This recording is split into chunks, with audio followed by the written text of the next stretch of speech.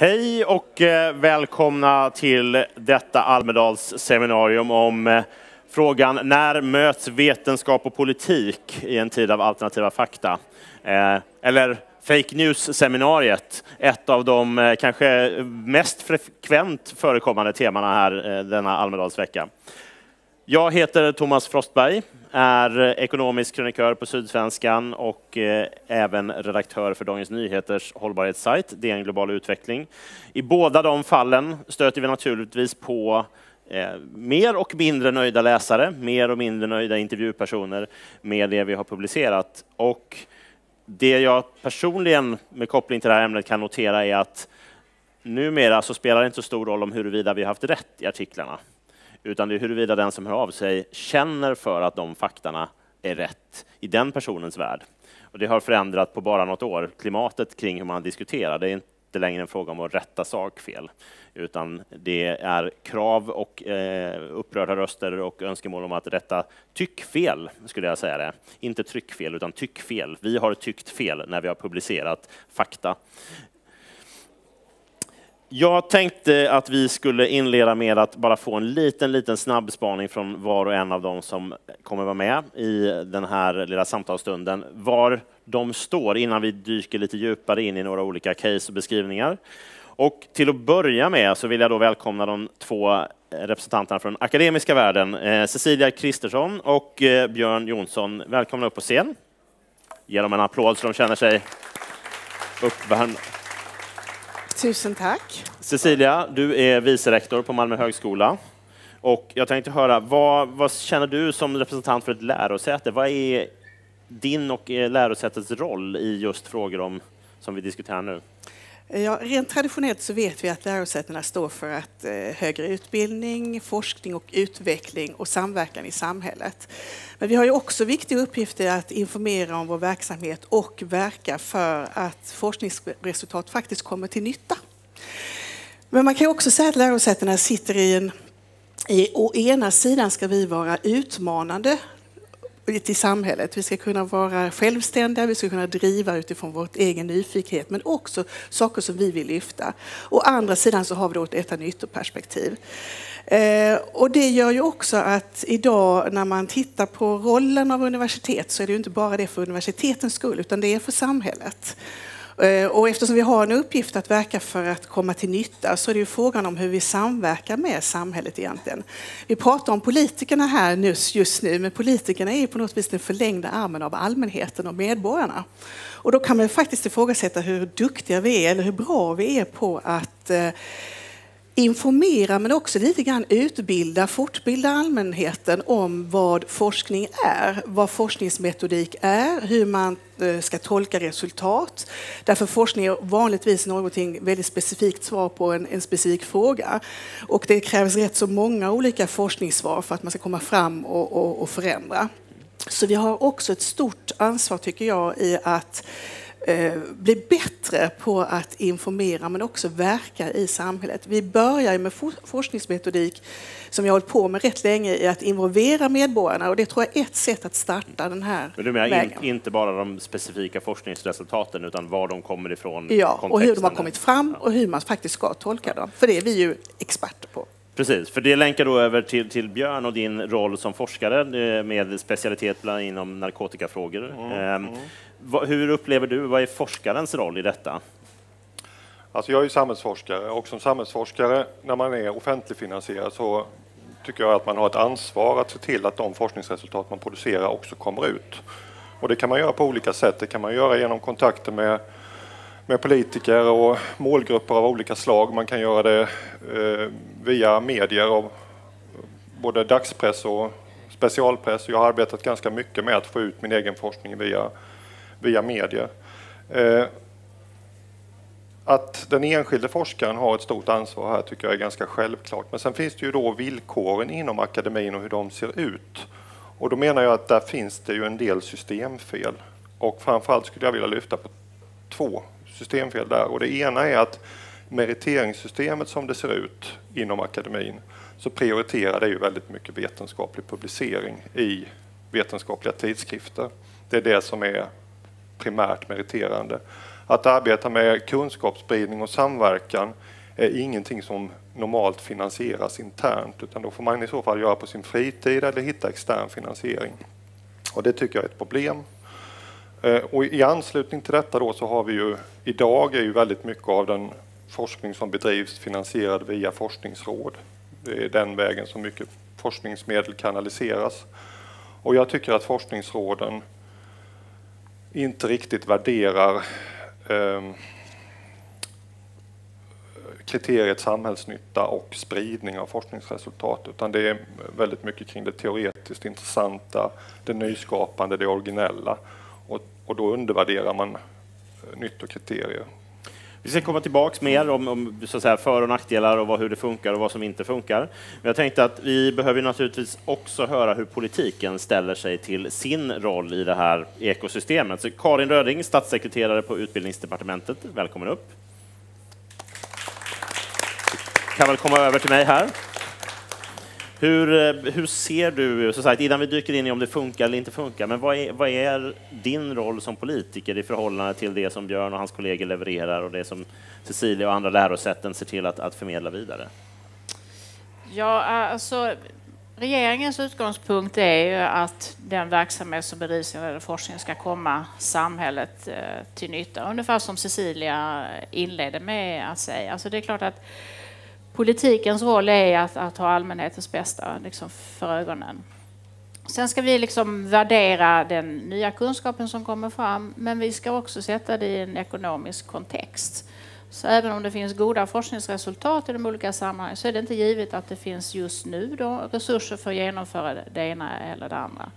Men det är klart att det hela tiden måste ju vår verksamhet bygga på eh, ny kunskap och, och de forskningsresultat. Men sen ska det vägas ihop eh, med andra delar. Nu har jag ju själv en bakgrund som akademiker och tidigare rektor för ett lärosäte och disputerad och så, så det är klart jag vill inte det liksom urtypen kanske för politiker då.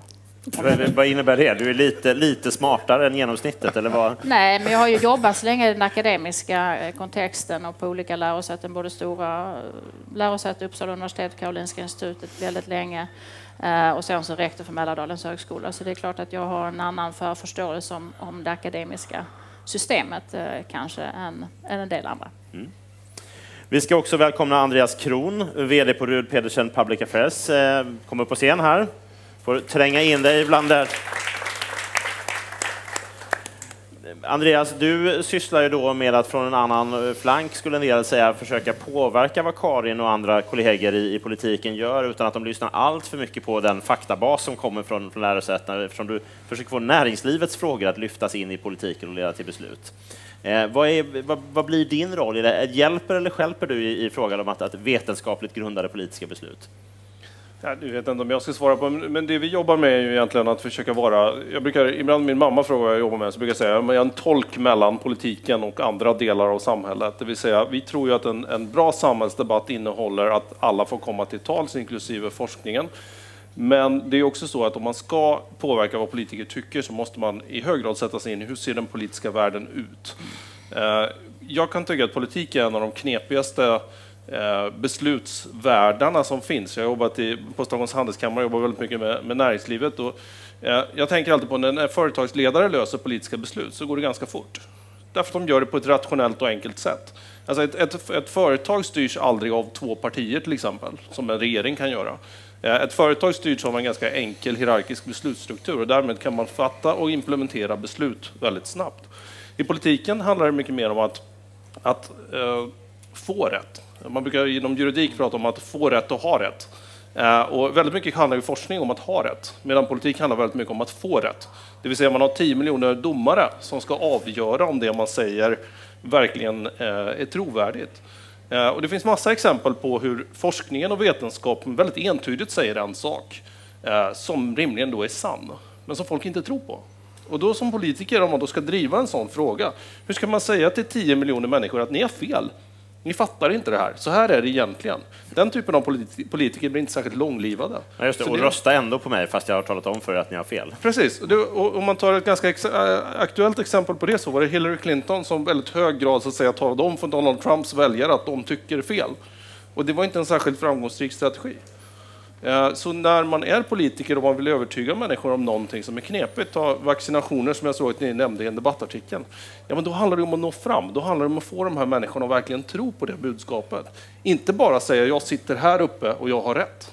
För och det är det du, de du gör eller är del av? Ja, men alltså det, när vi jobbar med företag som kanske vill påverka politik eller organisationer, eh, kommuner, andra som vi jobbar med, så handlar det om att försök nu förstå den här politikerns verklighet. Försök förstå vad de står inför när de ska fatta ett beslut och hur ska de sen kunna övertyga väljare? Eh, I en flerpartiregering så räcker det inte med att ett parti tycker en sak, utan man måste ha hela regeringen med sig och så vidare. Så demokrati är ju en rätt komplicerad beslutsstruktur mycket mindre lämpad att fatta effektiva beslut än till exempel ett företag är. Men vi vill ju gärna ha demokrati. Vi vill ju ha en, en eh, demokrati där faktiskt inte en person har all makt. Och då, då blir det lite knepigare att påverka. Innan Björn och Cecilia ska få ge ett par exempel på där forskningen inte riktigt har fått genomslag i, i politiken, så tänkte jag höra med dig, Karin, apropå det Andreas är inne på nu. Du, du nämnde så att säga, de, den ekonomiska målkonflikten, att ni ska ta fakta till ett beslut, men, men sen är det det här med att, att också bli vald och omvald. Hur, hur balanserar ni det? Om ni vet vad som är rätt och inser att det kanske inte är så gångbart i, ute hos väljarna.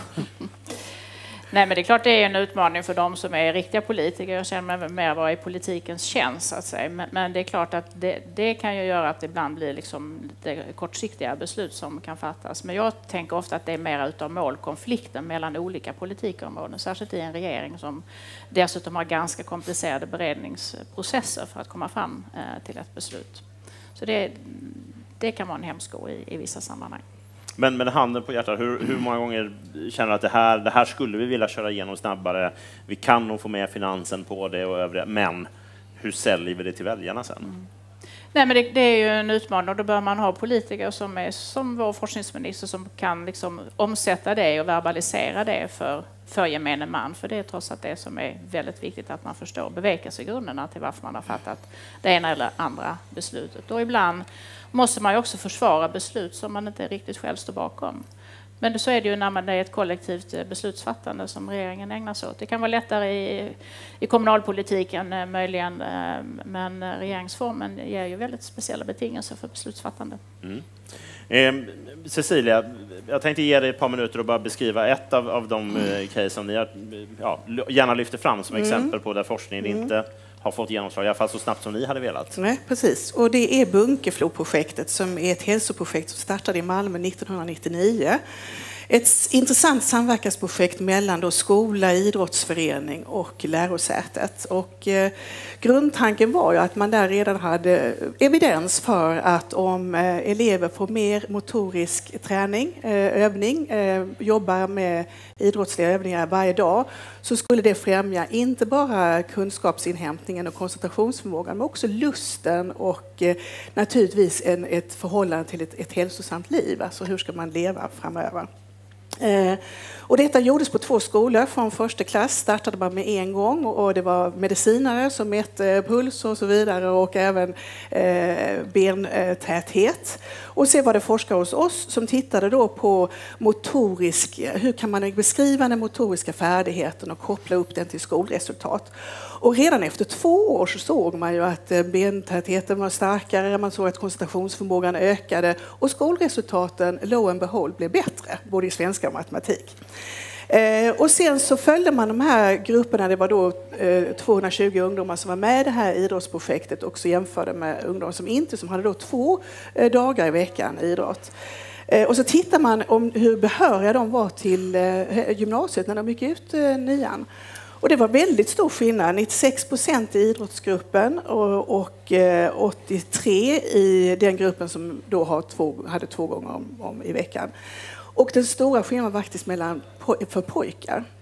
Och då tycker man att det här är ju ett jättevärdefullt eh, forskningsresultat som dessutom sen följs upp i Malmökommissionens arbete 2013 där man då gör en hälsoekonomisk analys och där man i princip kom fram till att investeringen skulle innebära 4 600 kronor per elev i satsning och man skulle då i ett i ett extrapolerat eh, inhämtat vinsttänkande kunna se att man kunde tjäna 38 000 per elev avseende på hur de kommer in i produktion och hur de då inte behöver gå in i sjukvårdsbehov och så. Så här kom ju liksom många saker. Det startade 99. Nu har vi i och för sig förslag på att nu ska vi öka 100 timmar in i skolan med idrottslig verksamhet och det är ju jättebra. Men 20 år är ju lite för långt. Det är hur många generationer barn är det? Och barnen är vår framtid. Det är så vi bygger vårt samhälle. Så allt som kan komma våra barn till godo vad det gäller lärande och skolutveckling bör vi liksom pusha lite extra för.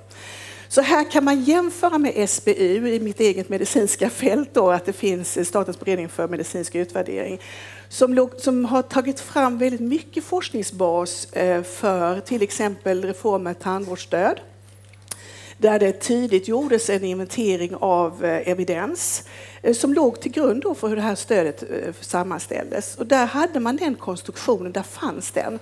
Jag ser inte riktigt den finns idag för skolan och det bör vi liksom då efterlysa. Hur ska vi kunna ta forskningsresultat med olika inriktningar från olika perspektiv, systematiskt utvärdera dem så att politiker känner sig trygga i att grunda sina beslut som då egentligen kommer från forskningssidan får vi koppla in Karin för hur, hur, är det okej okay att det tar 20 år att, att genomföra ett, ett beslut som verkar så här, hälsoeffekter, bättre betyg och till och med en ekonomisk vinst i slutändan? Nej, men det är klart, det är alldeles för lång tid naturligtvis. Och dessutom har det varit regeringsskifte emellan mm. och så vidare. Så att, och det finns väl ändå en myndighet som har något liknande uppdrag som SBU på, på skolområdet. Mm. Så att jag tycker att man behöver närma sig att, att också ta fram evidens och, och, kunskap om skolan på ett annat sätt. Och det är också ett av de områdena som vi har pekat ut i den forskningspolitiska propositionen. handlar ju om utmaningarna vi har i det svenska skolsystemet. Det är ju en, verkligen en nationell eh, samhällsutmaning. Men 20 år kan jag hålla med om det. Så vad, vad, vad ska till för att det ska spridas upp? Ja, möjligen är det ju också att forskare eh, har mer kontakt också med den mm. nationella eh, politiken. Och, och då tänker jag också att forskare brukar jag säga till mina forskare när jag var rektor att då får man också ha ett annat språk. Mm. Då kan man mm. liksom inte börja med eh, synopsismetoder och, och, och hela den här liksom upplägget som om man ska presentera en, eh, ett pek, utan då får man ha liksom en annan ingång när man pratar med politiker. Annars har de liksom tröttnat efter en kort stund. Andreas, från din horisont, nu jobbar du inte specifikt med, med, med akademin, men om du översätter vad, den här processen, vad, vad hade varit din, ditt tips för att korta, komma igenom snabbare med Cecilias vetenskapligt grundade förslag till en förändring av skolan. Du, du ber mig analysera fem mandatperioder på en gång, men ja. eh, om, man, om man dyker ner i en, en, en, väldigt tydlig mandatperiod som kan förklara varför det här inte är det, så kan man ta mandatperioden 2002 till 2006 när det här var väldigt mycket uppe till diskussion. Då hade man en parlamentarisk situation i Sveriges riksdag med en socialdemokratisk regering men som, och, och, som hade stöd av Vänsterpartiet och Miljöpartiet, men inte i skolpolitiken. Där eh, var Miljöpartiet i väldigt hög grad ihop med de borgerliga partierna som satt i opposition. Vilket gjorde att Ibrahim Baylan som var skolminister lyckades aldrig producera en läroplan, för det satte stopp för av en, av en parlamentarisk majoritet. Eh, och, så, och, lite grann så om man ska påverka politik så måste man gräva ner till de detaljerna och fundera på hur kan det här bli verklighet? Hur kan vi få upp 175 röster i riksdagen för att ändra det här? Och just då var det en situation där nej, skolministern kunde inte lägga en läroplan. Regeringen har eh, eh, egen rätt på att lägga fram propositioner, riksdagen. Eh, och, och, det gjordes faktiskt ett arbete där man försökte stifta lag själv i riksdagen. Väldigt många kan ju tro att riksdagen kan stifta lagar, det kan den inte. Den har inte kompetens för det. Man har utvecklat det lite på senare år, men det är faktiskt så att riksdagen behöver regeringen för att stifta lagar. Så det, det, det är ju ett väldigt precis svar på varför hände det inte någonting under fyra år. Och sen bytte man regering 2006 eh, och då måste man så att säga börja jobba med den nya regeringen. Då kom Jan Björklund in som, som skolminister och då hade man kunnat försöka driva den här frågan. Sen tror jag ett tips när man ska driva sådana frågor är att försöka göra det som politiken annars måste göra, nämligen prioriteringen. Om man vill trycka in mer eh, gymnastik i skolan, då måste man också svara på vad ska ut. För att det finns ju andra forskare som samtidigt drev att matematikundervisningen behöver öka. Eh, och, och, och, väldigt många saker. Och politiken är ju i hög grad så en, en läroplansmängd kan man förvisso öka, men om man antar att det är ett nollsummespel, då måste man ju svara på om det här ska in, vad ska då ut?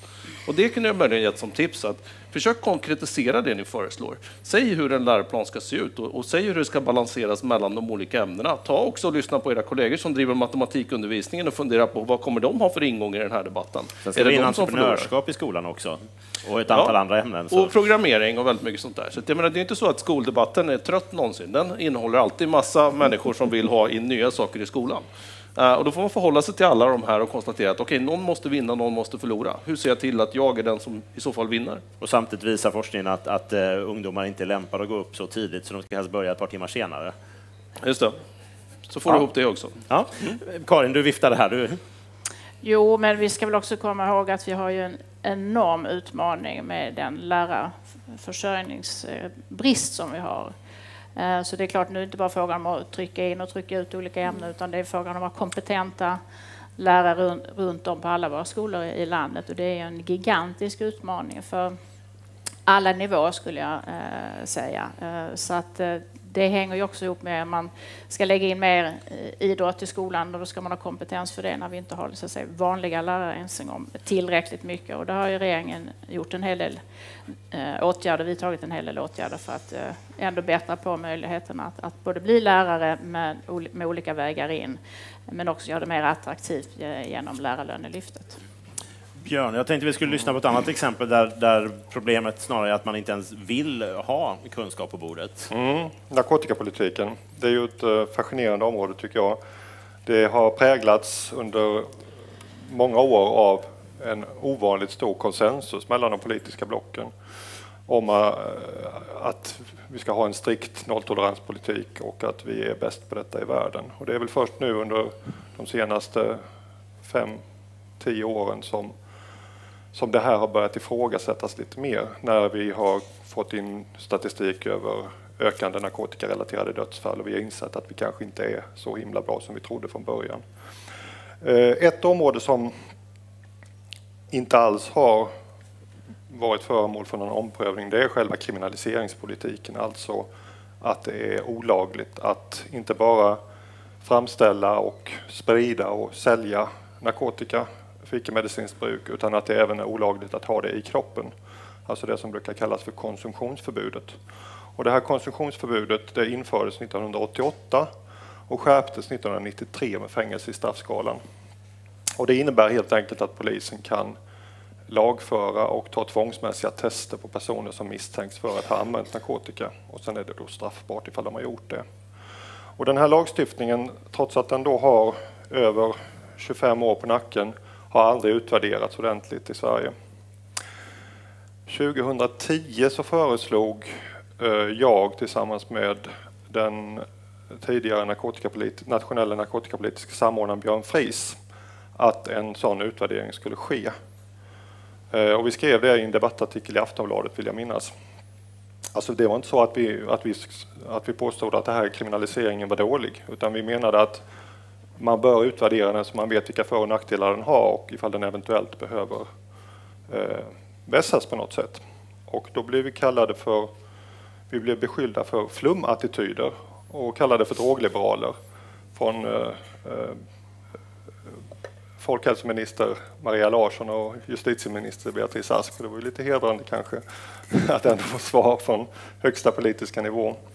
Men det blev ju ingen utvärdering och jag har intervjuat Maria Larsson om det här i efterhand och eh, då fått svar att det är helt enkelt politiskt omöjligt att göra den typen av utvärdering. För bara det faktum att ta fram forskning skulle vara ett ifrågasättande av konsumtionsförbudet. Jag har pratat med Morgan Johansson om det här också, vår nuvarande justitieminister, och fått i princip samma svar därifrån fast utan tillmälen. Så det är ju fascinerande tycker jag. Eh, där har man ett område där forskning är så pass hotfullt att man inte ens kan göra det. Och, och när du tittar runt i världen så menar du att det, det finns en anledning att göra den här Det finns absolut en anledning. Konsumtionsförbud finns i andra länder också, men i Sverige så använder vi detta i en väldigt ambitiös utsträckning. Och polisen lägger väldigt mycket resurser på detta. Så att det, det är ju vettigt att, att undersöka ifall den här resursanvändningen verkligen får de effekter som det är tänkt. Minskad droganvändning bland ungdomar framför allt. Andreas, nyfiken där, hur, hur tacklar man den situationen?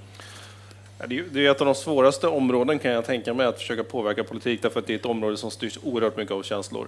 Det är en fråga som, som påverkar. Och, och lyssnar man på den allmänna opinionen, så, eh, vilket ju politikerna har gjort, så har de säkert gjort rätt analys. Eh, och då handlar det om att tillföra ny kunskap, men också påverka samhällsdebatten. Alltså för, först när du får med dig samhällsdebatten på en sån förändring så kan du också få med dig politikerna. I vissa fall är det så. Eh, alkoholpolitik är också en sån fråga som Eh, till och med när man röstar om alkoholtillstånd och policyer för det i olika typer av kommunfullmäktige runt om i landet så brukar det vara fri röstning i partierna för man lyckas inte ena partierna ens en gång. Utan det är typiskt en sån fråga som, som är mycket knepig att driva politiskt. Men eh, hur mycket är det man lyssnar på väljarna? Det finns ju de som skulle säga att det här snarare är att politiken har drivit den restriktiva linjen och att folket kanske skulle vilja ha en, en mer, om det då, vi behöver inte kalla det drogliberal, men, men en annan eh, politik. Vad är hönan och ägget där? Ja, det, det, kan man naturligtvis mäta. Eh, jag tror att det finns en ganska stark politisk konsensus som, som beskrivs här, som, som ligger på den linjen. Eh, det här är också en sån fråga som splittrar blocken ganska tydligt. Utan att peka på partier så kan de flesta räkna ut att det finns olika uppfattningar både inom alliansen och inom det rödgröna samarbetet i de här frågorna. Vilket ju inte gör det lättare, för att i någon mån så är det naturligtvis så, och alla som har sett en sån här lobbyfilm i USA vet ju att om man bara räknar ihop tillräckligt många kongressledamöter som röstar rätt så blir det ett beslut. Så funkar inte Sveriges riksdag. Björn, du är... Ja, det som är speciellt med narkotikapolitiken också, det är att det har varit stor enighet över blockgränserna men det har varit stor oenighet ibland inom partierna. Mm. Och det gör kanske också att man inte vill ha upp de här frågorna på bordet på samma sätt. Så det, det är inte nödvändigtvis bara att man är emot kunskap, men man ser risken att det spricker åt både höger och vänster och mitt i. Jag tror det kan finnas. Hur, hur ofta har ni sådana situationer? Där ni inser att det här är inte ens fakta som är problemet, utan det är det är oenigheten internt som kommer blotta som, som förhindrar det? Ja, det kan jag inte svara på ofta, men det, det, är klart att det dyker upp sådana frågor. Men generellt får man väl säga att, att politiken är inte så väldigt bra på att utvärdera eh, sina tidigare reformer.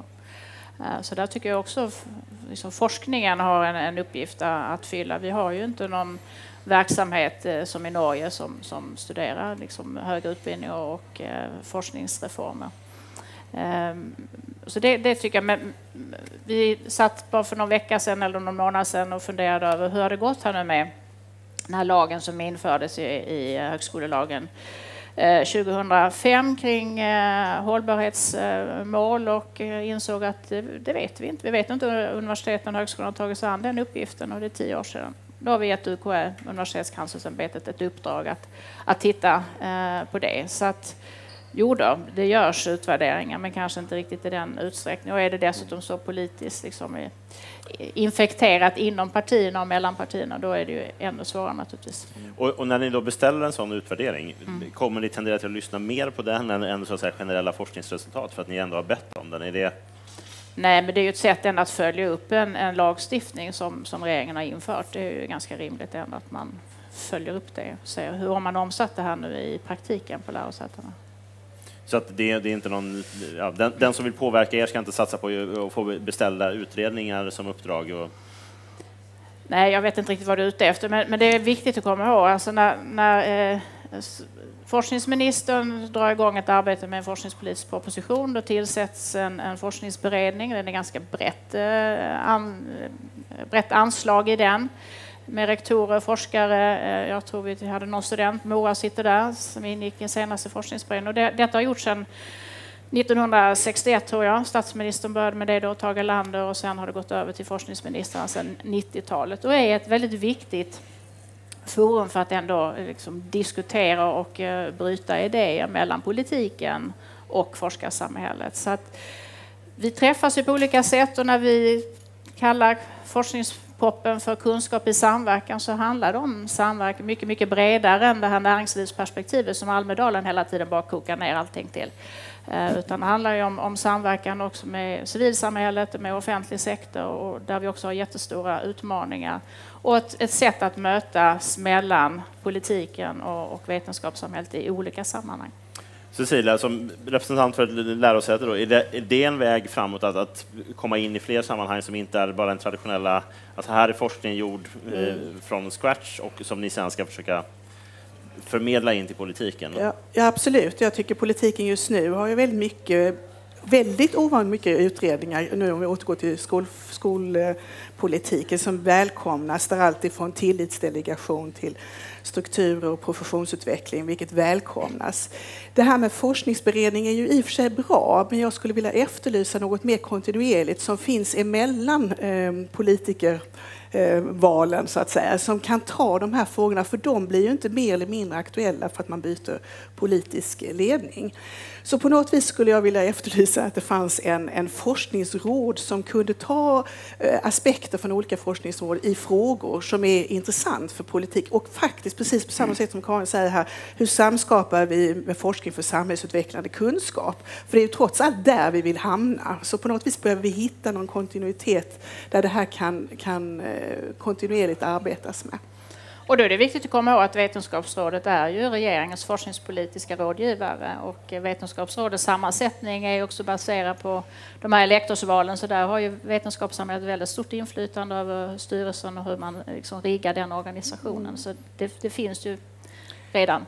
Ja, och det finns möjligheter att trycka på på olika ställen och det är väl en, en uppgift som är viktig.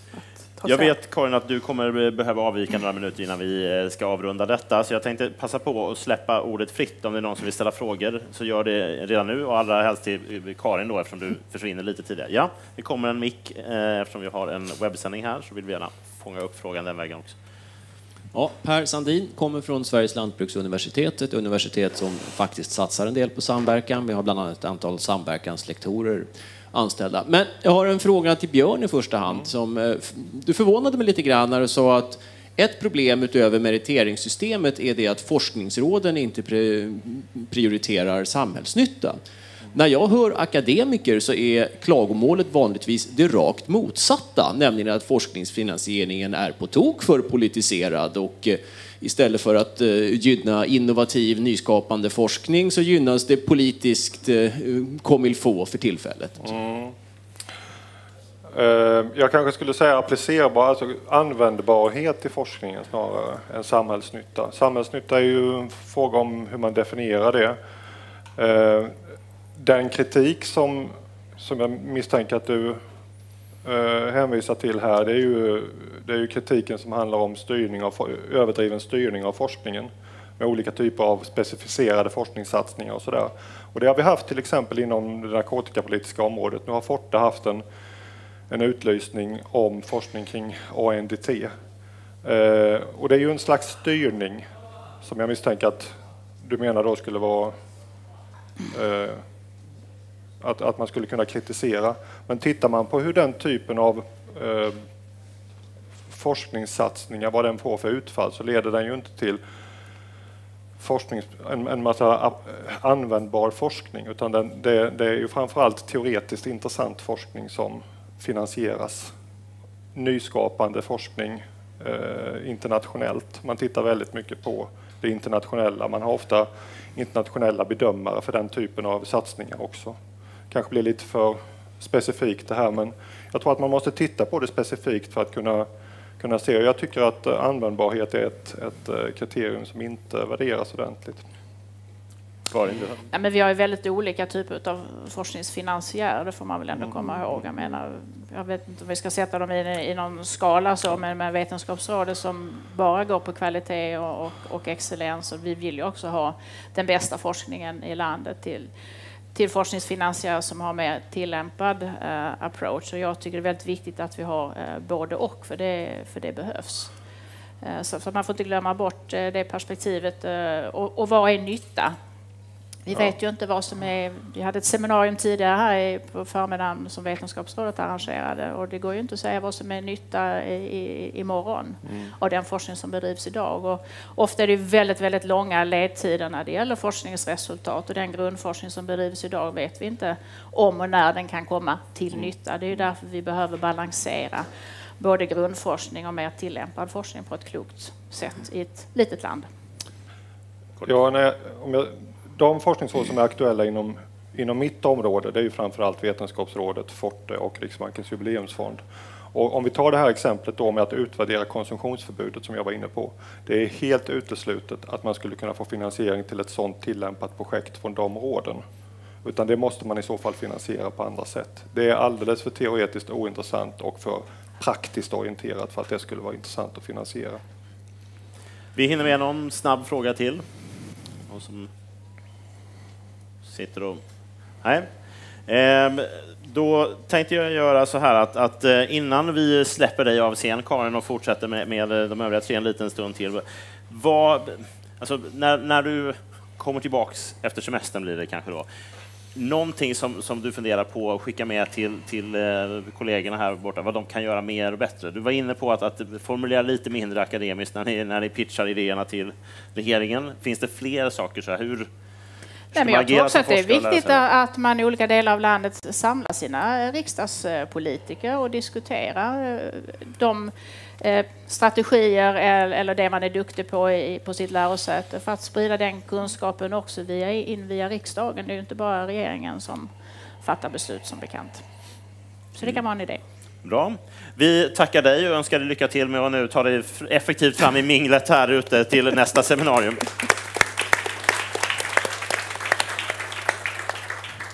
Då tänkte jag höra, Andreas, ibland i de här sammanhangen så, så kommer frågan upp att eh, samhällsinriktad forskning, sånt som Björn sysslar med, bland annat har, har svårare att få gehör medan den mer naturvetenskapliga, medicinska eller raka rör, det verkar som att vi, eller vi, vi politikerna tror på den mer eller bättre. Är det en bild du känner igen. Du har också en gammal kommunalpolitisk bakgrund så att du är inte helt okunnig om hur det funkar på insidan. Av Nej, dessutom, dessutom är jag naturvetare, vilket är ganska ovanligt i politiken.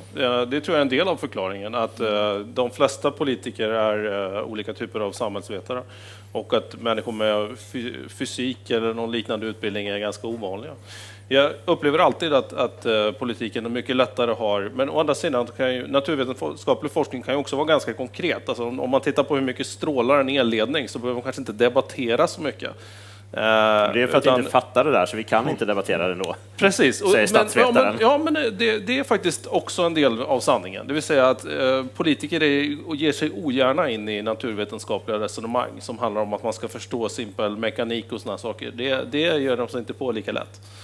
Eh, så, så, där tror jag den naturvetenskapliga forskningen har det lättare. Sen är det klart att all forskning som sen också ska tillämpas på ett komplicerat sätt, narkotikapolitik eller arbetsmarknadspolitik och så vidare, ja men där är ju väldigt många forskare som ändå möts. Vilket ju inte är om man strålar om en elledning. Det kan möjligen vara någon psykolog som också berättar om man mår dåligt av det. Men annars så sätter man nog eh, Strålskyddsmyndigheten på att svara på det helt enkelt. Och utifrån det resonemanget, finns det någonting att, lära i hur man ja, närmar sig politiken med de eh, mer samhällsinriktade områdena? Kan man sno något från naturvetenskapen där i? Ja, men det är väl alltså, dels trovärdigheten i forskningen och jag tror egentligen inte att det som är problemet. Alltså, politiker har en hyggligt hög tilltro till forskare, men sen så är det implementeringen av det. Hur ska det här sen göras? Eh, jag, när jag pratar om public affairs som är mitt område så brukar jag säga men specificera ner i lagtext vad du vill. Alltså ju längre du kan gå. Det är precis samma sak om man jobbar med PR som jag också har jobbat med. Alltså, försök göra journalisternas jobb så långt du kan. Och gör också politikernas jobb och tala om vad är det som krävs. Och eh, respektera målkonflikterna. Alltså för om du bara går in med ditt perspektiv och du bara säger det här är viktigt, gymnastik i skolan, och, och så att inte ens berörat matematik, eller som jag varit inne på, Eh, då blir du, som Fredrik Reinfeldt skulle säga, ett särintresse. Eh, och det är inte särskilt bra utgångspunkt, utan man måste också kunna vara ett allmänintresse. Cecilia, hur blir lärosätena bättre och forskarna bättre allmänintressen? Eh, eh, vi får, alltså det är ju riktigt det här att man får jobba med politikerna och i den förlängda delen med allmänheten. Och vi kan bli mycket bättre på det. Vi kan eh, vara ute i samhället och prata om forskningsresultat och faktiskt diskutera vad resultaten betyder. Eh, också efterfråga från, vi gör ju participatoriska forskningsmetoder där vi är ute och efterfrågar från allmänheten och sen är det forskarna som går in och vässar frågorna för det behövs. Det tror jag. Jag tror också vi måste faktiskt jobba och ha ögonen öppna för att tittar man, och nu har ju Karin gått men hon vet ändå vad jag tänker säga här, när man tittar på finansiering på forskning, det är klart Vetenskapsrådet och så vidare, men när man tittar på vad pengarna allokeras till så är det mycket life science och det är naturvetenskap. Tittar vi på skolan, utbildningsvetenskap, så är det 4 procent. Och det är så mycket som vi ändå behöver driva för att utveckla vårt samhälle. Så man behöver också prata med politikerna att självrannsaka sig i hur man distribuerar medlen tycker också man kan faktiskt ifrågasätta att eh, det finns allokerade medel i forskning som handlar om en nyttoperspektiv, att vara allmänbildande i det forskning man har tagit fram. Att det ska också finnas pengar för den delen. På så sätt så förhoppningsvis blir implementeringen lite bättre och går lite snabbare. Det behövs, absolut. Björn, ur, ur forskarens perspektiv, vad upplever du till att börja med? Är det något från lärosäten ni kan ha mer stöd i eller att de kan mm. bädda bättre för er att komma igenom? Jag tror att, att vi behöver integrera detta i forskarutbildningen. Till exempel att man har kurser som handlar om hur man får ut sina forskningsresultat efter att man är färdig med sin avhandling. Eh, och på Malmö högskola så har vi en del sådant faktiskt. Jag har bland annat själv föreläst om hur man som forskare kan möta medier Eh, och vilka komplikationer som kan uppstå i den relationen för eh, doktorander då inom, en, inom en kurs. Så tror jag att man som enskild forskare måste bli... Man måste helt enkelt lägga tid på att ha kontakter med relevanta beslutsfattare. Och jag ägnar ganska mycket tid genom åren åt att svara på frågor både från journalister och politiker, att föreläsa för politiker, jag brukar alltid, oavsett vilket parti det är som hör av sig, så brukar jag försöka ta tid till detta och även åka iväg ifall det behövs och prata om mina politikområden. Och jag tror att även om det finns ju en tendens inom politiken att man letar efter sådana forskningsresultat som stödjer det man redan tycker. Och det finns forskning som bevisar att, att, att, att, att det är så politiken letar efter kunskap.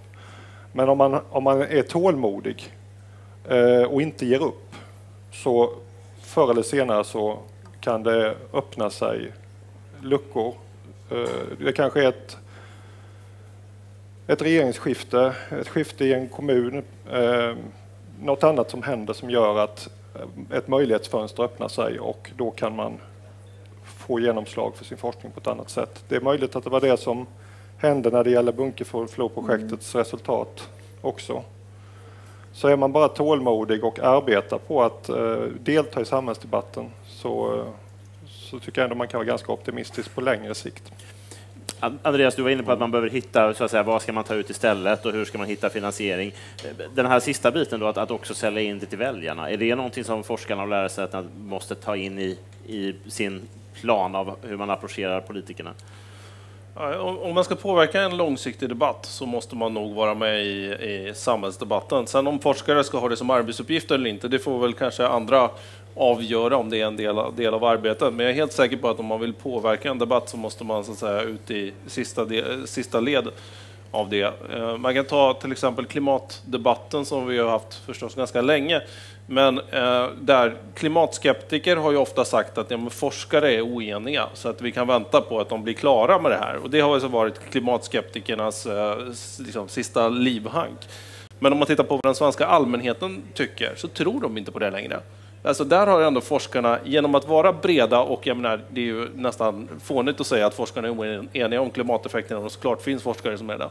Men där har, tror jag forskningsvärlden verkligen har hjälpt till att ge ett genomslag med alla typer av forskningsområden som till slut har fått det svenska folket att acceptera att det här måste vi göra någonting åt.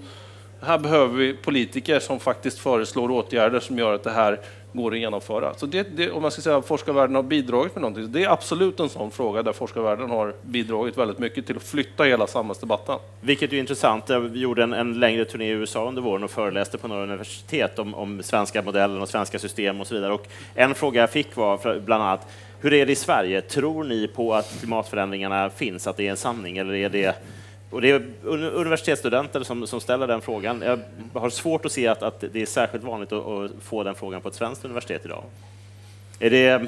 Nej, men så är det Och jag menar, någonstans är det också så att eh, i demokratin så gör det inte så mycket om 10 procent fortfarande inte tror på det där. För att så man har fått ett tryck av 90 procent så, så räcker det och då kan man genomföra politiska åtgärder. Så man behöver inte jaga den sista personen för att vinna en debatt, utan det gäller bara att få en egentligen massiv majoritet bakom sig. Jag, jag trodde du skulle säga, vad, vad är liksom tipping point där? Vad, hur många behöver man få med för att skapa trycket på politiken? Jag tror, I USA är det ganska uppenbart att man inte fått med tillräckligt många.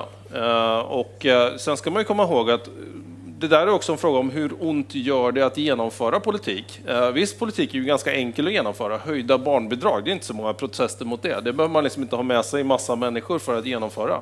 Men det är klart att ska vi göra någonting åt klimatfrågan, då, då måste man också göra saker som, som lite grann gör ont. Höjda bensinskatter och annat som man vet att väljarna inte gillar. Men om du har så att säga det här trycket bakom det, att det här är ett globalt problem, det här måste vi lösa. Ja, men då accepterar väljarna också att ta lite smällar på vägen och konstatera att ja, vi måste nog också vara med och lösa det här. Kort innan Cecilia får, får sista ordet för idag. Eh, en annan bit med mandatperioder är att, att många av de här förslagen kommer kosta pengar denna mandatperioden och det är någon annan som kommer skörda de eventuella vinsterna. Mm. Jag antar att det är samma problem när näringslivet lobbar. Hur tacklar du det som PA-konsult? Ja, nej, men alltså mandatperioder är ju definitivt en faktor. Man måste ta med dem i alla typer av kampanjer som ska påverka. Att det kommer ett riksdagsval nästa år, det gör att politiker har syn fram till sådär nästa Almedalsvecka. Och det är bara att konstatera att det är så i en demokrati att eh, politiker försöker bli omvalda. Eh, jag tror att det är svårt att tänka sig någon annan sorts demokrati i alla fall. Eh, och då måste man ta med det. Och då får man fundera på, kan jag påverka det före valet eller kan jag påverka det efter valet? Vi vet ju i alla fall att regeringar genomför obekväma beslut sina första hundra dagar. De flesta regeringar går ändå till val på att snabbt riva av de här besluten som de vill göra, men som de inser, inser som de inser inte är så populära. Och då är det bara att lära sig det och lägga det de första hundra dagarna när man har ett sådant åtgärdsprogram. Cecilia, kort ja. Eh, ja, vi behöver samverka för att kunna utveckla olika former för hur forskningsresultat integreras i politiska beslut. Men politiker måste också visa tillit till forskningen.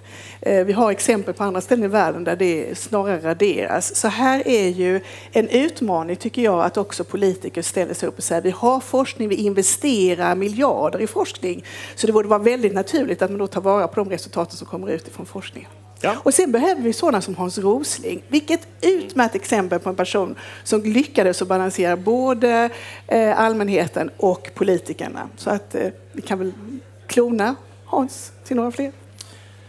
Vi låter det bli slutorden. Tack för det. En varm applåd.